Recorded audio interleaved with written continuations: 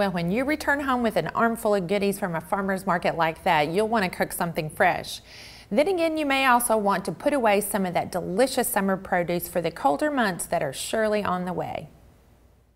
I'm Cindy Putman, and we're here with Chef Hal in the Live Green Galley, and we're so excited because today we're going to be talking to you about the best ways to preserve all these wonderful things that you've been growing in your garden or in your raised garden or even in a small container garden. And Chef Hal, thank you. It smells wonderful already. Thank you. Nice to be back in the Green Galley. Um, we're excited just show everybody a little bit about how we preserve some of our last harvest um, at the restaurant, at home. Um, we're going to focus on some things that are fairly popular in terms of tomatoes, peppers, corn, and basil. Um, I think we can just go ahead. Okay, and, where, what are we going to get started yeah, with? we can start with uh, some tomatoes. Um, we're getting some of the last tomatoes from one of our local growers in East Nashville right now at the restaurant. And what we like to do with the tomatoes is just kind of stew them down with a little bit of olive oil, garlic, salt, and pepper, and let them simmer um, very low heat for maybe an hour to two hours, um, releasing some of the water. And uh, that would, of course, magnify the flavor of the tomato um, before we would ultimately um, jar the tomato. And the kinds of tomatoes you have, I absolutely love because these look like heirloom tomatoes. They- and those are my favorite kind to get at the farmer's market. Not those really round, perfect red ones, but those that are all different colors and all different shapes, and they're really, really beautiful. They are beautiful, and we have a couple of the raw tomatoes here that we've used for these. These are actually grown for us by CC Gardens in East Nashville. Um, we tend to focus on smaller tomatoes for this. Of course, large tomatoes would be fine. Um, I like to slice those up and put them on sandwiches. But um, these are the ones that we use a lot in the restaurant for certain recipes. Of course, now that tomato season is coming to an end, um, we're, we're going to be jarring some up so that we can use some in, in February and January when uh, that nice, beautiful flavor of uh, nice tomato will, will be a little more precious than it is in, in June and July, being that they're gone and out of season. On a cold wintry night, when someone wants some really good homemade soups or pasta sauce or something like that, one of those cans of tomatoes would be worth its weight in gold. Absolutely, and it's, it's already kind of cooked for you and, and ready to go. Um, what we've done here with the jars is just the, the basic technique of jarring. We've, we've boiled and sanitized the jars and the lids. We've pulled them out, let them dry. Um, And you you've wanna- actually done that in the big cooker right over here. We have, we have, and, and, and here's an empty jar, and, and we got our, our nice little funnel here, and, and we can just simply fill this up until it gets to the top.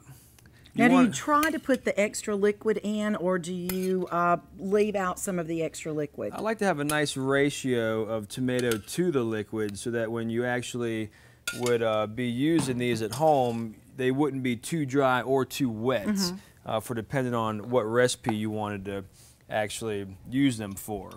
So now we have the the and, ring and, and they've been the nicely lid. sanitized. And, and one thing, excuse me, I do want to show everybody is to always make sure, even if you use a, a nice funnel, you always want to make sure the, the rim is, is nicely uh, clean so the seal can actually take place there with the tomato. And we'd put the, the lids on and, and seal them up, and then this would go back into um, our, our nice little um, vessel here that's made primarily for canning. And we'd boil that for about 10 to 15 minutes and, and pull out, and um, we'd let it cool. And one trick I would like to share with people that's always been a good trick for me to know that you have a good seal is this obviously we just filled, so we haven't boiled it yet. And you can see that you can still press press on the pan on the top of the lid a little bit, where on this one you can't because the, the it's taken place, the vacuum's taken place here and it hasn't taken place here yet. And, and we've also done um, some pepper relish that we have over here that we've already also jarred as well in the jars here. And, and what we've done here, you can see a beautiful basket of peppers that we have here from the garden. We've got a number of different variety of peppers there, and, and I like to intermix all the different variety. And we just kind of rough chop them um, along with some onion and garlic. And then I use some water and vinegar and sugar and salt and, and kind of cook them down in that. And then there again with the same procedure, we'll, uh, we'll jar the pepper relish. And this is just so great for so many things. Um, Well, I'm thinking a big pot of pinto beans and a big pound of cornbread. That sounds This great. would be perfect, and it sounds great. smells wonderful. It has a spicy smell and yet a sweet smell at the same time. When you're preparing your peppers, how important it is to take the seed? Is it to take the seed and the seed membrane out? I think it's important, um, especially with the hotter peppers, because that's going to obviously make them more hot. I typically just take my peppers, cut them in half lengthwise, of course discarding the top stem, and then after I cut them all in half, I'll go back and pull all the seeds out of them, and then I just kind of rough chop them a little bit. You could even put them in the food processor if you wanted to, and just maybe pulse it, and then get a nice kind of rough chop on it. Um, I think it's okay though for the peppers to kind of be a, a- variety of Of size. and- sizes. Okay, what are we going to make next? After we've had our peppers and we've got our wonderful tomato sauce? Um, then I'd like to maybe share how you can um, save and preserve some corn and some basil. Always at the end of the year, our, we have about 10 basil plants at Eastland Cafe, and they just produce, produce, produce. And, and even right now, we have so much basil, but as it's starting to get colder outside, if we don't do something with them in the next two to three weeks, um, we could potentially lose a lot of product. So a very simple thing to do with basil is to just make a pesto. And um, we've made a pesto here um, yesterday actually at the restaurant. And we just simply use the, the basil leaves, some nice Parmesan cheese, some garlic, um, olive oil, salt, pepper, and we use toasted walnuts. Um, you know, original recipes for pesto will call for pine nuts, um, and pine nuts are wonderful and delicious. They do tend to kind of be on the pricier side of, of the nut family. Um, but we always have walnuts at the restaurant. I mean, you could use pecans, you could use almonds. I, I think the nut, you can do really whatever you want. And then we just use olive oil, and once again, in the food processor, we, we pulse it and, until we get the consistency that we want it. And with the pesto, I think you could freeze it in Tupperware, you could freeze it in ice cube trays, you could freeze it in Ziploc bags. Um, that'd be completely up to you what you wanted to actually freeze So it it's a pretty versatile thing. You could do a lot of different things with this. I mean, freezing it a lot of different ways and then serving it a lot of different ways. Sure, and I think some people like the ice cube tray because after it freezes, then you can put it in a Ziploc bag and, and give it a good seal. If you had a food process, or I'm sorry, a food saver, um, that would be really nice. Um, but what the ice cube tray does is kind of give you a portion size. So, you know, you can take what you need and, and know you're not getting too much or not enough when, when you're actually going to be cooking your dinner. And so, what would you add this to if you have this great pesto that comes out in an ice cube shape? I, I, I mean, I think of pasta kind of right off the bat. Um, we've even done things like mixing pesto with butter and serving it with fresh radishes before dinner, um, which is a nice way to do it. Anything mixed with butter is good. Um, yeah, Anything, it doesn't matter what it is. So that's beautiful pesto. How long will that keep in the refrigerator if you're just going to keep it in the refrigerator and not freeze it or do anything else with Uh, I'd it? say in the refrigerator it should be good for at least a week. I think the kind of the, the way it has a layer of oil on top will kind of help it preserve itself with not allowing the oxygen Mm-hmm. to, to penetrate. But you can see how it does oxidize a little bit on top, but as we mix it up, that, that beautiful green color kind of comes back out.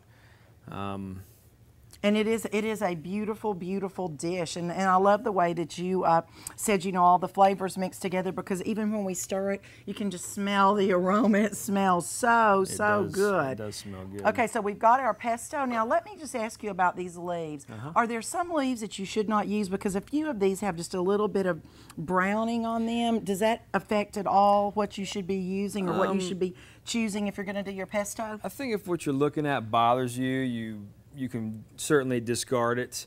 Um, I always say if you wouldn't serve it to somebody you, you really care about, then, then don't serve it to anybody, you know. But um, yeah, we just pick the leaves off and uh, maybe give them a rinse because being that they do come from the garden, uh, we will find a, a small spider or you know some kind of little critter on there from time Sure. to time. So you want to make sure that you be aware of that as you're using the, the food as you pull it from your garden. But this was just picked this That's morning. and beautiful. Is there any time you use a younger leaf as opposed to an older, you know, more mature leaf? I think sometimes I like to use the bigger leaves for the pesto, and then if you were using, you know, if you were cooking something fresh, you know, some of these smaller tops are, are maybe nice to use as like a garnish or something. Mm-hmm. I think so you know? too. Well, we love pesto at my house, and so I can't wait to go home. And I think my basil's really on overload right now. It's been really growing a lot, so I'm going to be able to make some of that for this weekend. Now, let's talk about corn. Everybody loves corn. And corn is certainly one of those things that I mean, when summertime starts getting here,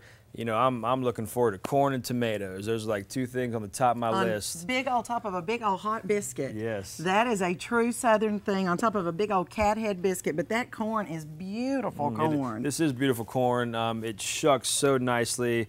Uh, the the silk on it.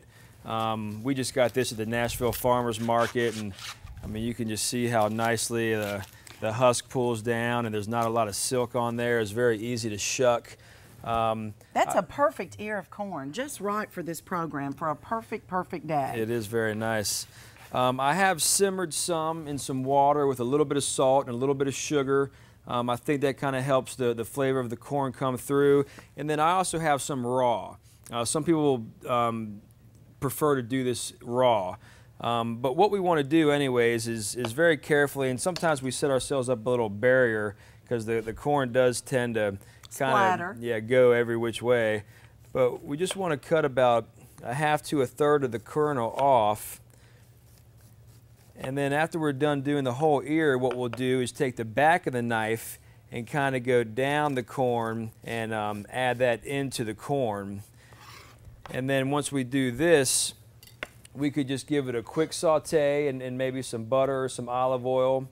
And then what we really want to make sure we do is to absolutely let the corn cool 100% before we would then um, take some Ziploc bags and uh, obviously put the corn in the Ziploc bags, try to squeeze as much air out as possible, get a nice tight seal on it. Thank you so much, Chef Hal, for all these wonderful pointers on how to take care of these this last bountiful harvest that we have from our gardens or from our farmers market. And we're so excited that you joined us here in the Green Galley, and I'm so excited to taste some of these delicious things. Well, thank you so much for having me.